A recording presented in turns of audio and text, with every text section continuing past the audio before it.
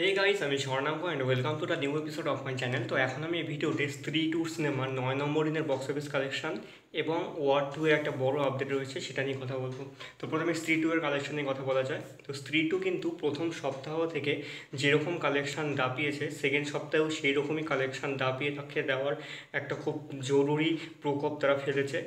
তো প্রথম সপ্তাহে সিনেমাটা চারশো এক কোটির একটা গ্রস বক্স অফিস কালেকশন করেছিল, যার মধ্যে তিনশো বিয়াল্লিশ কোটি ছিল হচ্ছে ইন্ডিয়া থেকে। এবং টোটালি দুশো উননব্বই কোটি ষাট লাখ টাকা নেট বক্স অফিস কালেকশন করেছিল। এবং আট ও নয় এই দুদিনে কিন্তু সেই প্রকোপটা বেড়ে গিয়ে আরও পঞ্চান্ন কোটি গ্রস কালেকশন করেছে ইন্ডিয়া এবং আউটসাইড দিয়ে। এই সিনেমাটা নয় নম্বর দিনে টোটালি যে বক্স অফিস কালেকশনটা করেছে, সেটা হচ্ছে উনিশ কোটি তিরিশ লাখ টাকা একটা নেট বক্স অফিস কালেকশন এবং টোটালি নেট বক্স অফিস কালেকশানের নিরিখে এটা তিনশো সাতাশ কোটির একটা গ্র সরি নেট বক্স অফিস একটা কালেকশন করেছে, যেটা কিন্তু একটা হিউজ কালেকশান এবং এই হিসেবে সে কিন্তু হিন্দিতে, হিন্দি বেল্টে আর আর মানে রুদ্রম রানা মুদিরাম সিনেমার যে বক্স অফিস কালেকশান ছিল, সেটাকে কিন্তু পার করে গেল। এবং টোটালি এই সিনেমার কালেকশন হয়েছে চারশো ছাপ্পান্ন crore worldwide gross box office collection তার মধ্যে তিনশো ছিয়াশি কোটি ইন্ডিয়া থেকে এবং সত্তর কোটি ওয়ার্ল্ড ওয়াইড থেকে মানে ইন্ডিয়ার বাইরে বাকি অংশগুলো থেকে।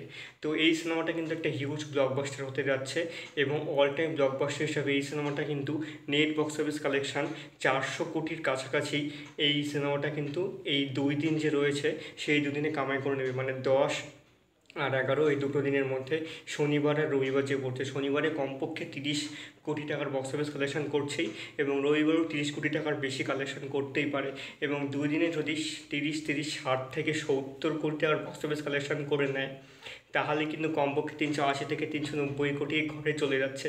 দেখা যাক সেই কালেকশনটা হতে পারে কি না এটা ছিল প্রথম আপডেট দ্বিতীয় যে আপডেটটা সেটা হচ্ছে ওয়ার টু নিয়ে। তো এই আপডেটটা অনেকদিন আগে থেকেই একটা যখন ওয়ার টু এর কথা হচ্ছিল, শুরু হবে শুটিং সেই সময় একটা অনেক আলোচনা হচ্ছিল যে এরকম একটা সিন থাকবে। তো এটা এখন পুরোপুরি কনফার্ম যে ঋত্বিক রোশনের ওয়ার টু সিনেমায় যে কবিরের যে ক্যারেক্টারটা রয়েছে, তার যে এন্ট্রি হবে, সেটা একটা দারুণ গোসভাম সিন হিসেবে সেটা একটা ইতিহাস হয়ে থাকবে। তো ওয়ার টু সিনেমায় এন্ট্রিটা যেটা হবে, সেটা হচ্ছে একটা যার বিরুদ্ধে হবে, সে হচ্ছে একজন কোরিয়ান ভিলেন হবে।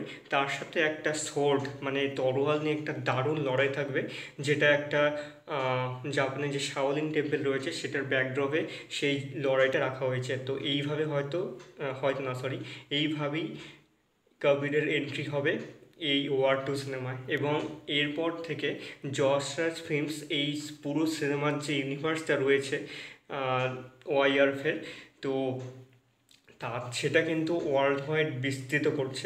এতদিন পর্যন্ত ইন্ডিয়া, পাকিস্তান এরকম জায়গায় সীমিত ছিল। এরপর থেকে কিন্তু সেটা চায়না, জাপান, আমেরিকা এরকম জায়গায় কিন্তু পৌঁছানোর চেষ্টা করছে। দেখা যাক এরপরে যে ওয়ার টু এর পরে আসছে Tiger versus Pathaan Pathaan two এবং টাইগারের পাঠান এই দুটো বাদ দিয়ে ওয়ার টু তো আসছে, তার সাথে আলফা আসছে এবং আরও অনেকগুলো সিনেমা তারা রেডি করছে। দেখা যাক এইগুলো সিনেমার কোন কোন লেভেলে কোন জায়গা অবধি পৌঁছায়। তো এই ছিল আজকের ভিডিও কেমন লাগল অবশ্যই কমেন্ট করে জানিও। ভালো লেগে থাকলে চ্যানেলটিকে সাবস্ক্রাইব করতে একদম ভুলবে না।